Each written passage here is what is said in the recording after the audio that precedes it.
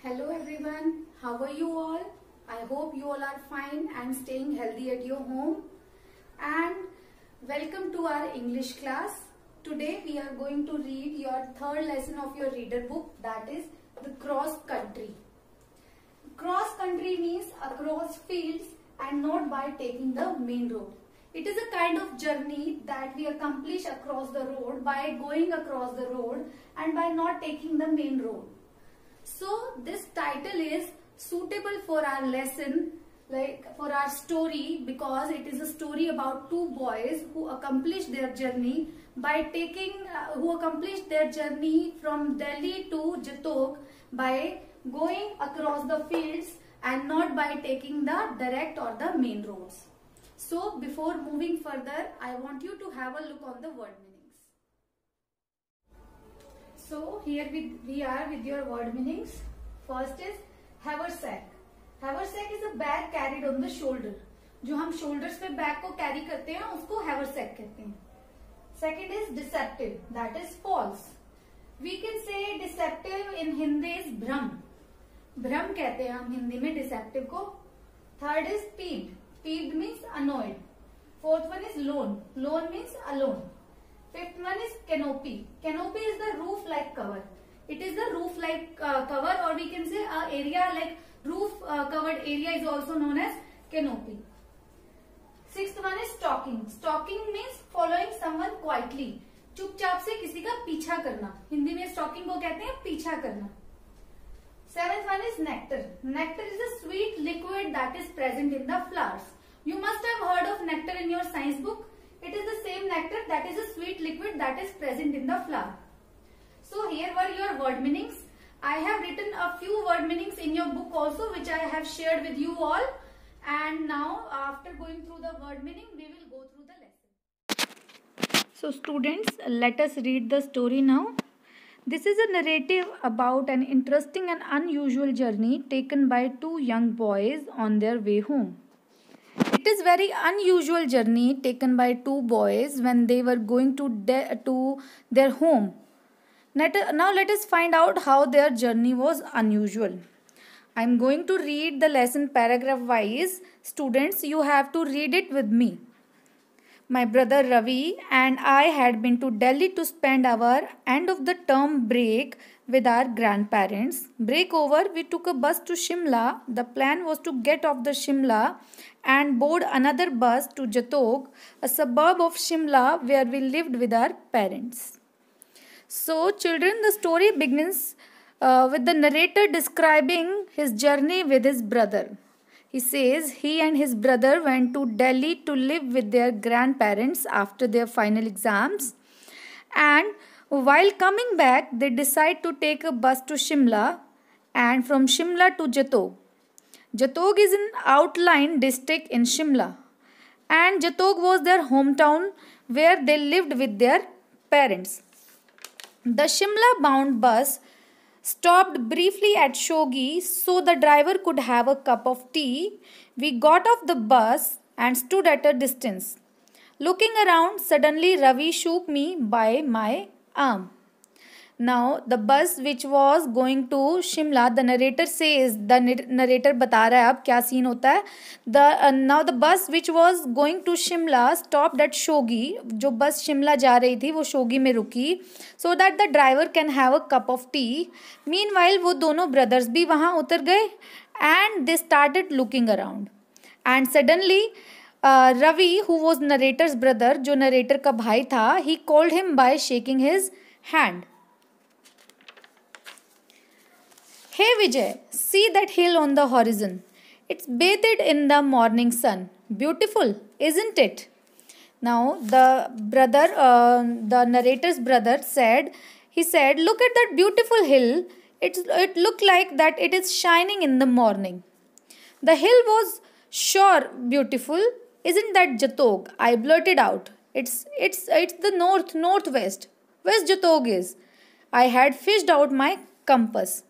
The narrator also replied that the hills look the hill look extremely beautiful and he pointed out at the hill and said that वो तो जतोग है that hill के पीछे उनका home town है उसने point out किया hill को और उसने बोला कि ये तो जतोग है and he starting it started checking it in his compass और वो कंपस में डायरेक्शन चेक करने लग गया and what what is a compass student compass is an instrument that we use to uh, used to uh, by which we used uh, by which we see the direction it is used to see the directions okay jatog cried ravi home from here it seems pretty near there is just one hill between us I say why travel by that pokey old bus why not walk it now yeah, Ravi also said in excitement that it was Jatog and it their hometown. It was Jatog their hometown.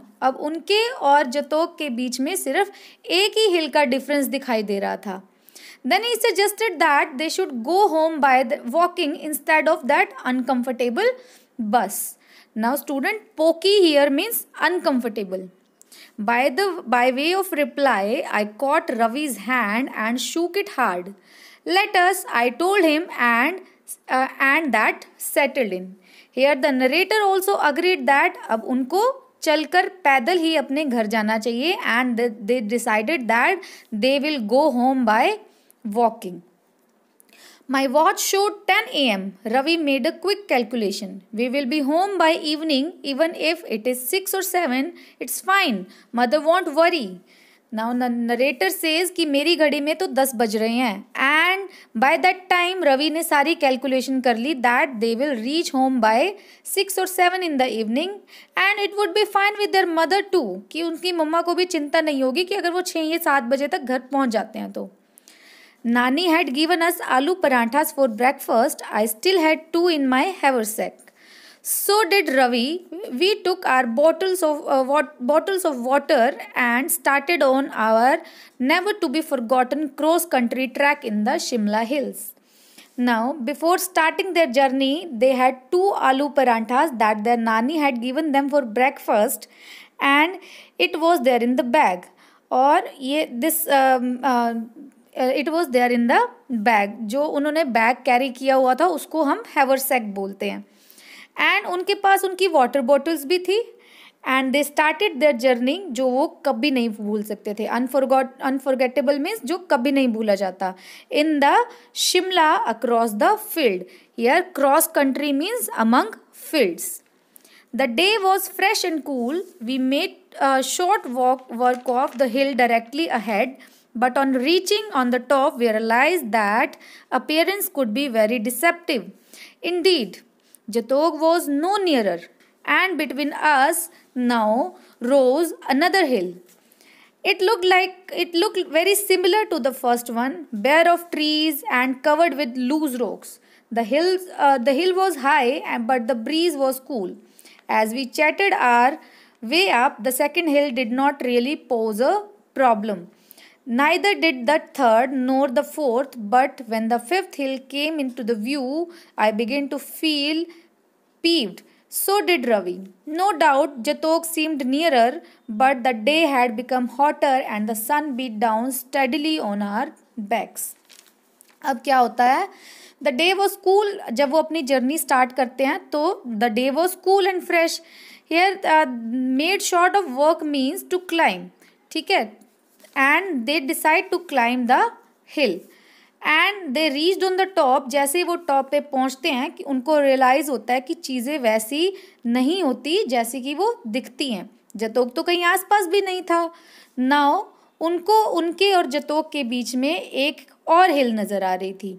Now they decided to climb that hill too और hills भी पहले वाली हिल ये हिल भी पहले वाली हिल के जैसी ही थी। Bare of tree bare of tree means जहाँ पे ट्रीज भी बहुत कम थे and it was having loose rocks and उस हिल पे चढ़ते हुए उन्हें कोई प्रॉब्लम नहीं हुई. Here pose means to create a problem pose a problem that means create a problem उस हिल ने भी उनको कोई ज़्यादा प्रॉब्लम क्रिएट नहीं की. ठीक है? और वो बातें करते करते हिल की टॉप पर पहुँच गए. And what did the see वो वहाँ जाके क्या देखते हैं? There was one more hill वहाँ पे एक और हिल है। Then one more hill then one more hill and इस वे से वो चार हिल्स क्रॉस कर लेते हैं। एंड जब वो लास्ट में फिफ्थ हिल को क्रॉस कर रहे होते हैं दे स्टार्टेड गेटिंग एंग्री और एक के बाद, एक के बाद एक हिल उनको दिखाई देती चली जाती है। और जब वो फिफ्थ हिल को क्रॉस कर रहे होते हैं तो उनको गुस्सा आना शुरू हो जाता है। नो डाउट जतोग तो पास में ही दिख रहा था पर डे जो है वो बहुत ज़्यादा गर्म हो चुका था दिन बहुत ज़्यादा गर्म हो चुका था the sun was directly on their head understood this paragraph now let us move further with next paragraph We stopped for, for a rest and had a much needed aloo parantha apiece, washed down with a few sip of water. I would love to splash my face with lots of cold water, said Ravi wistfully, but they but we can't afford to waste water. Who knows? Now in the way क्या होता है जब वो अब fifth वाले जो हिल uh, को cross कर रहे होते हैं they stopped in their way for taking some rest and they had their aloo ka paratha that their nani had given them and they had few sips of water too meanwhile ravi कहता है that he want to wash his face with lots of cool water कि वो अपने face को बहुत सारे ठंडे पानी से धोना चाहता है। But he can not do it because वो पानी को वेस्ट नहीं करना चाहता था। I know did who knows what I meant was that the hills around us had no signs of habitation not even a lone hut the area was simply too dry and rocky for farming or grazing sheep So, where could we hope to find water?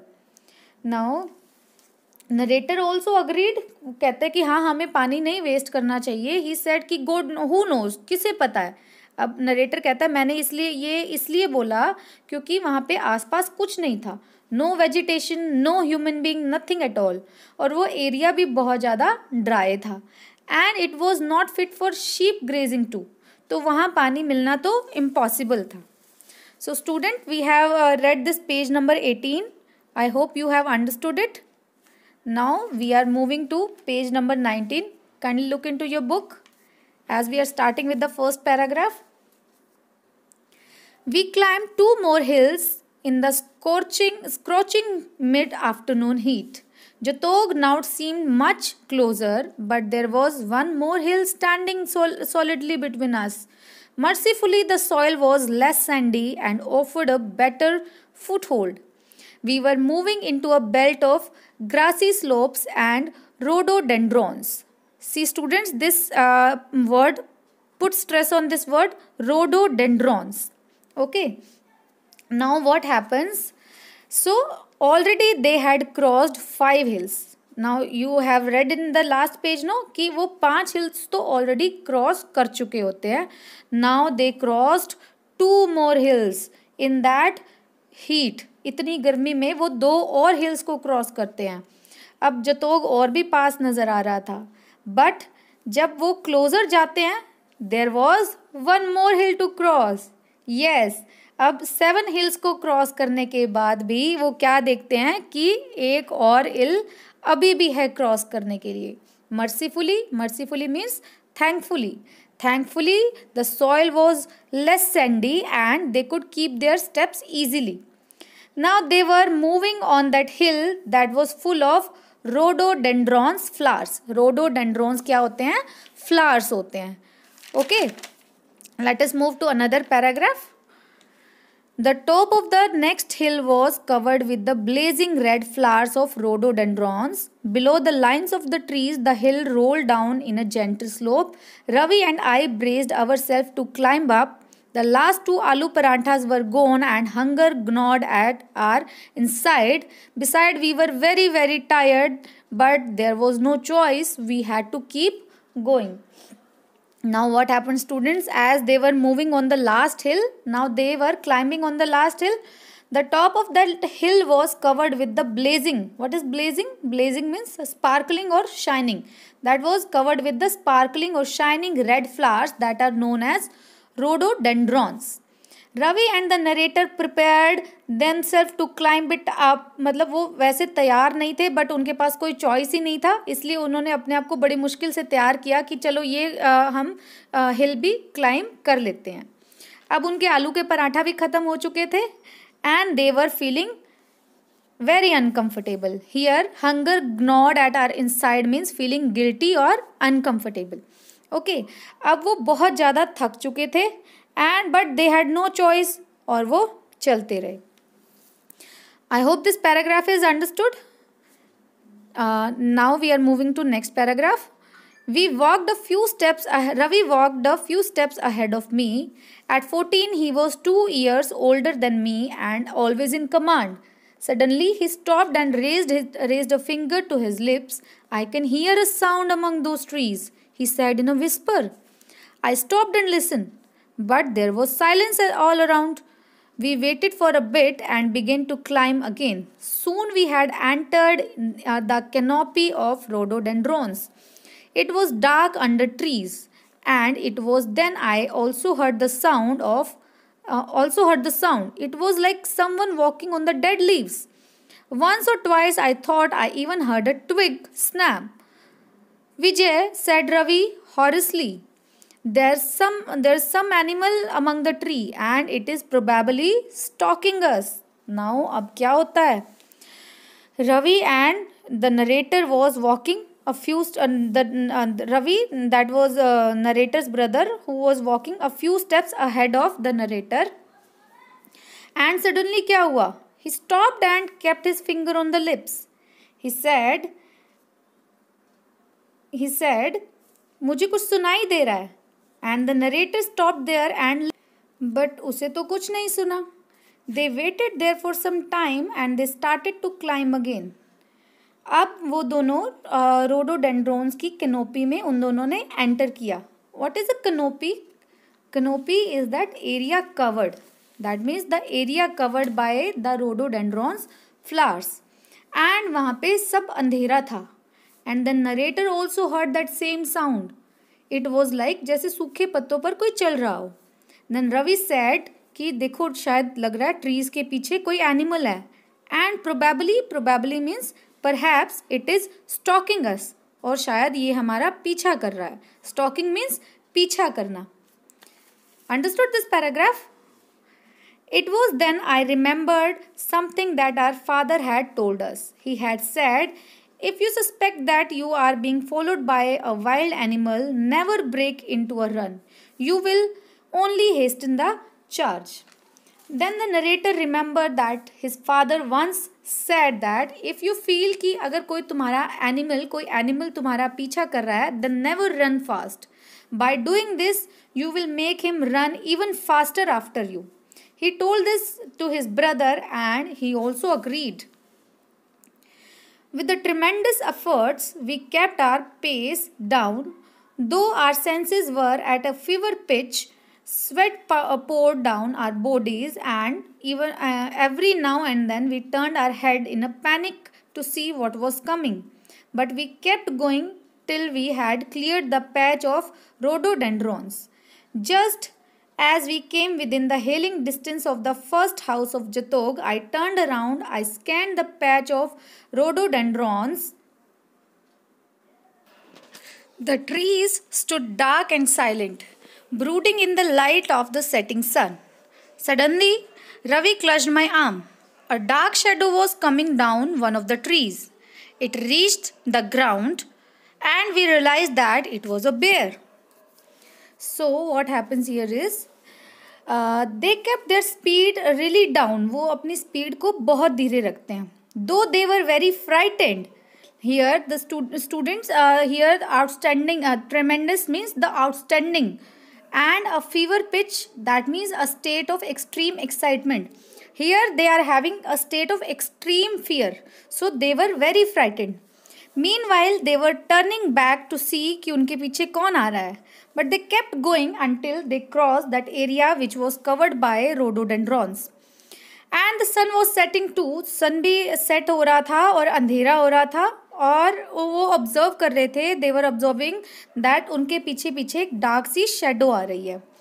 When they were when they entered their home town जहाँ से उनको uh, अपना घर दिख रहा था जहाँ से बड़े नियर एरिया में पहुँच गए थे वो जतोक के जहाँ से उनको फ़र्स्ट हाउस उनको दिख रहा था it was visible they turn their back and so that it was a bear और उन्होंने मुड़ के देखा कि वो ब्लैक सी शेडो किस चीज़ की थी. Then they came to know that it was a bear yes it was a bear back home we learned that the flowers of rhododendrons are rich in nectar so beer often climb up the trees to make a meal of the flowers what a lucky escape they had and what a super story we got to tell to all the boys at the school now, after reaching home, they came to know that rhododendrons are rich in nectar.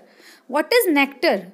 You must have uh, heard of the nectar in science, na? Science में पढ़ा होगा कि nectar क्या होता है? yes nectar is a sweet liquid present in the flowers so usually bear जो है वो क्लाइम करते हैं ट्रीज पे to collect nectar from rhododendrons and they make their meal out of it it was really very lucky escape that they have it was very lucky that they had escape luckily वो दोनों वो दोनों बच गए and now they had very interesting and unusual story जो कि वो अपने फ्रेंड्स को बता सकते थे। so here was your lesson number 3 of reader uh, which was very unusual journey undertaken by two young boys to their home. I hope you have understood it very nicely.